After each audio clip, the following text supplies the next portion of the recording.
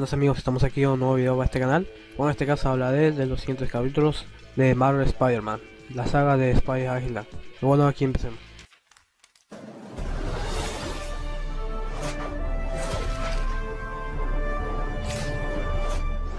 El capítulo comienza de inmediato con Spider-Man con un nuevo traje que aparentemente se hace invisible y también intangible. Pero el chico arácnido más lo, lo detecta, pero el traje que anda como la mierda ya Creo que por lo entendí, parece que el sudor de Spider-Man creo que hizo cortocircuito en el traje a vacío y lo tira a la basura. ¿Qué fue eso? No sé, solo pasó una referencia a Spider-Man No More.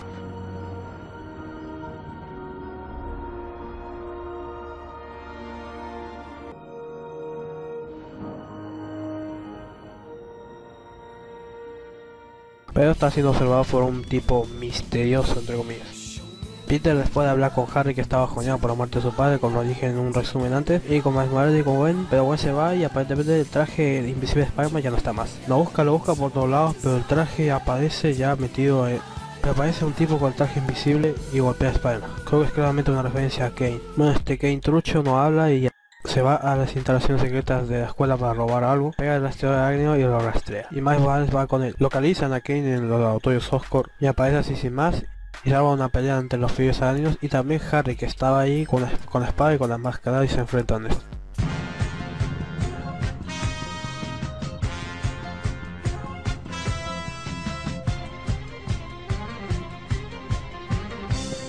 Y cosa realmente inexplicable, de la nada aparece Spider-Man. O sea, Gwen Stacy con eh, poderes. ¿Cuándo se vio eso? ¿Cuándo vio que ya tenía habilidades? En ningún momento. No sé si dio el gas ese que vimos en los capítulos anteriores, pero no, no, se explicó ni un momento cómo pasó. Hay cosas más inexplicables. La piba anda sin máscara. Totalmente inexplicable y forzado. Localizan a Kane en la Estatua de Libertad que quiere explotar toda la mierda con un gas que no sé de, de dónde cada más salido, pero bueno, tiene otra pelea más. Trata de desactivar esa bomba.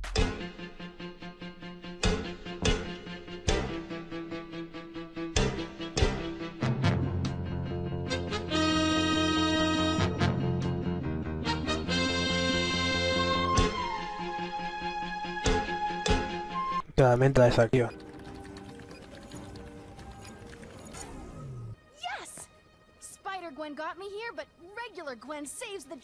Y vencen al Kane. Pero esto no ha terminado. El Kane trucho creo que se transforma en un monstruo de araña y comienza en mierda ese helicóptero que estaba ahí. Y parece que aparentemente no va a escapar. Aunque sea de gran tamaño creo que nadie lo vio. Ah sí, Spider-Gwen ya tiene muchos admiradores.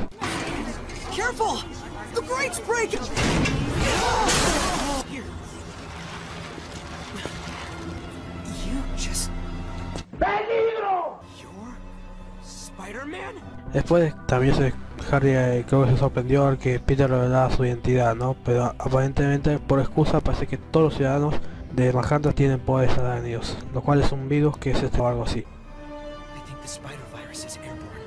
De un día para otro las personas andan por todos lados haciendo Spider-Man, sabiendo los poderes y todo eso. Y le roba trabajo Spider-Man a Spider-Man ya que ella es la heroína favorita de todos.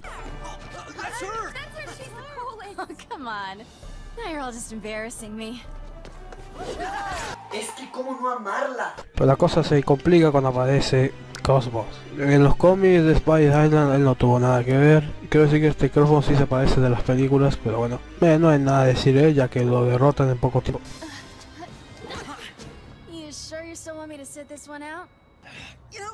Ah, sí, también descubrimos que la morocha latina también tiene poderes.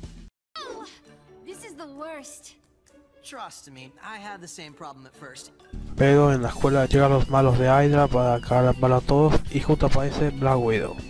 Black Widow para salvarlos y hace mierda a todos esos soldados.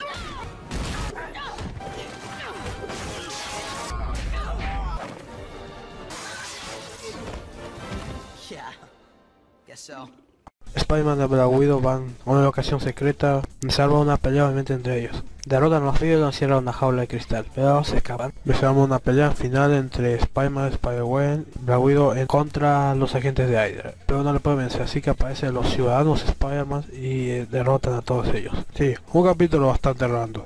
Pero bastante random, Black Widow y los, los demás desaparecen, ya que no aparecen en los otros capítulos de Spider Island. Bueno, lo más interesante es que pues, aparentemente la sombra Gwen se va a transformar en un.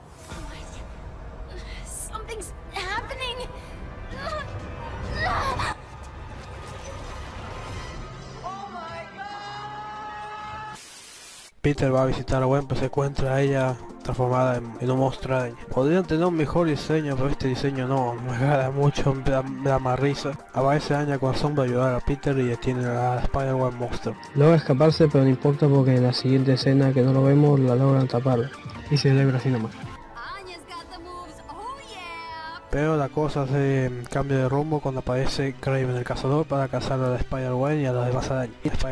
Los pibes tratan de evitar que Kraven no la mate a ella. Pero Kraven es derrotado por una camioneta bajada por Harry. Esta ya se fue a la mierda hace rato. Pasa que Harry localizó a ese monstruo que apareció en el primer capítulo. Que después descubrimos que no lo sabíamos, es Norman Osborn, el papá de Harry. Son unos tres diálogos. Pero camioneta es tumbada a la mierda cuando aparezca Kraven. Pero Kraven es atacado por Norman, monstruo araña. Spider-Gwen también se escapa de ellos y trata de enfrentarse a los pibes. Gwen tira la mierda pero es salvada por Harry que ya tiene un planeador. Planeador la máscara y un traje. ¿eh? ¿A qué nos intuye esto? Ambos pibes se ponen los trajes naranja y se enfrentan a estos. Se enfrentan a Kraven y a los monstruos ahí. Anya logra detener a Spider-Gwen monstruo y de manera similar que en Avengers 2. Kraven derribó a Norman y quiere matarlo, pero Peter lo detiene. Kraven se vuelve a levantar, pero es derrotado por Spider-Man monstruo que lo enreda todo este año.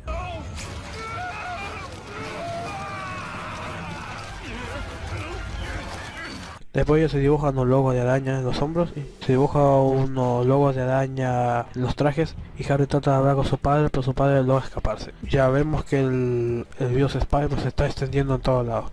La pregunta es, ¿dónde Cordo está más Morales? hasta él mismo lo pregunta. Van a ver si la, tía de Peter está bien, pero también tiene poder de daño y de repente se convierte en un monstruo. Logra detenerla, pero no, la detiene y luego se alejan de ella. Mientras tanto, la secundaria, Andia investiga, Andia averigua una cura para curar a Spider-Web monstruo, pero creo que hay una señal o algo así Señalo así que controla la araña Norman y todas las arañas van para allá, incluyendo la Spider-Man que rompe la jaula y parece que infectan a Anya y, creo que en ese momento se había desarrollado un antídoto para convertirse en un monstruo. Todas esas arañas van a Toroscor a seguir a Norman y los dos amigos van allá a detenerlo. Con unos tanques de agua los tiran y detienen a algunos de esos bichos y luego lograron entrar a Oscorp. Se encuentra con Norman convertido obviamente en un monstruo araña que no se ha visto cómo había sido manipulado por alguien y cómo se puso el traje en la primera parte. Pero vamos a intuir que en el episodio 15 o algo así en la saga de Dog, cuando destruyó el gas ese, creo que por eso sobrevivió a esa explosión. Sobrevivió a esa explosión y creo que fue, manipulado por el creador de ese gas. Pero de la nada aparece Chacal que es el que está detrás de todo esto de toda esta invasión arácnida. Aparentemente cuando Norman destruyó todas las arañas de prueba que había en la escuela de los pibes, el gas ese se vaporizó en la atmósfera haciendo que todos los ciudadanos se transformen en arañas. Y aparece Norman con una mejor apariencia porque le habían inyectado una especie de cura que no era muy efectiva, ¿no? Y ya con conciencia o cerebro trata de pelear contra el chacal.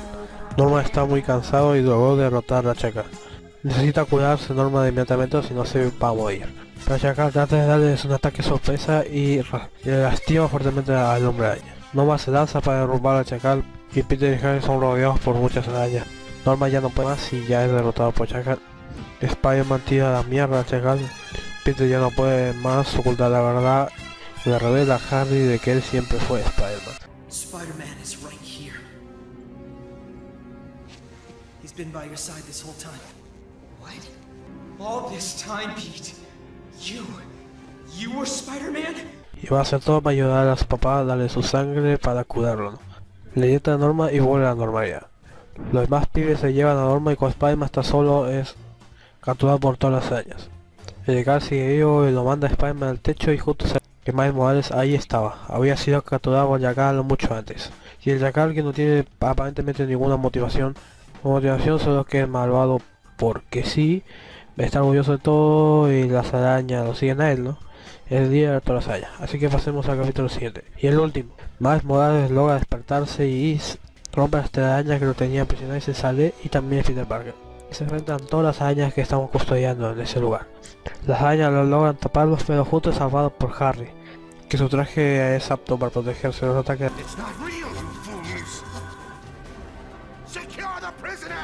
Bueno, los pibes van al laboratorio y ven que Norman ya se ha curado por completo y tratarán con la sangre de Spider-Man ya que se ofreció a con su adentro curará la infección maligna. A veces se rompía ya que los monstruos de arañas quieren entrar y atacar pero lo rodean muchos y muchísimos. Ya habiendo preparado todo, ya salen a las calles de Nueva York y van a visitar a cada uno de los ciudadanos y también personajes que ya habíamos visto. Parece que Harry tiene unos oportunos robots que se van a meter ahí obviamente para enfrentarse acá. Y bueno, hacia Oscar otra vez.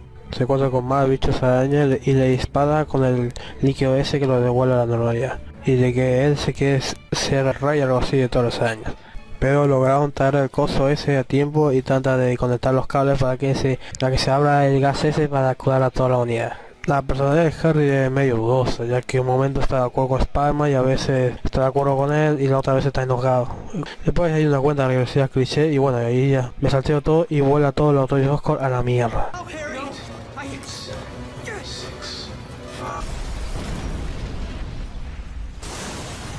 Ya le dije la bipolaridad de Harry, bueno, está enojado con él y ya no lo quiere ver más, algo pero pido convencerlo de que ya se liberó el gas ese y curó a todos. Y vemos a más personajes que vimos antes que ya vuelan a ruedas. Así incluyendo Spider-Man. Y todo vuela a novedad. Harry con sus padres en silla de ruedas van al lado subterráneo de Oscar y se encuentra, quiere que Harry se ponga ese traje y bueno, vemos que el traje ya ha cambiado y se parece más al de Hobgoblin. Bueno, vemos que ya se ha calmado todo el desastre de Nueva York y todo volvió a la realidad. Todos están felices y contentos. Por lo menos hasta los capítulos finales. Bueno amigos, ha sido eh, Marvel Spider-Man, la saga de Spider-Man. Si te ha gustado, eh, dale un me gusta y comparte y suscríbete si quieres con este. Bueno, vemos que mm, sigue la parte de Spider-Man, de Marvel Spider-Man, la saga de Hobgoblin y la segunda temporada. Todavía esta tortura no termina. Bueno, nos vemos. Hasta la próxima.